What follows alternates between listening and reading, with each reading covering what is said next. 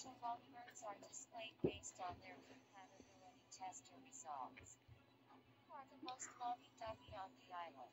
There's only one way to find out. The results are always changing, so check regularly to see if romance is really in the air. Thanks for watching.